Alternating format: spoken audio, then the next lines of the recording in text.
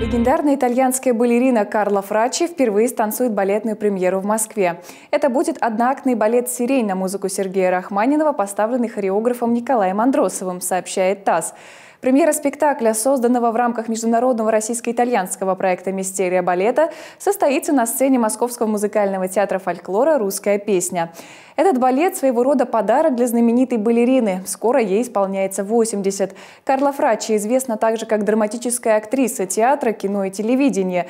За свою творческую деятельность балерина была отмечена множеством наград.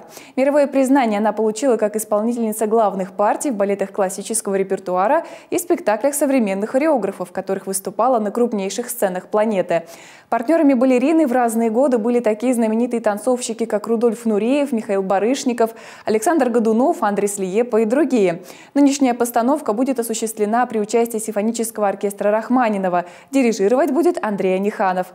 Литмотивом спектакля станет концерт номер два для фортепиано с оркестром Сергея Рахманинова в исполнении автора. Будет использована уникальная запись концерта 1939 года.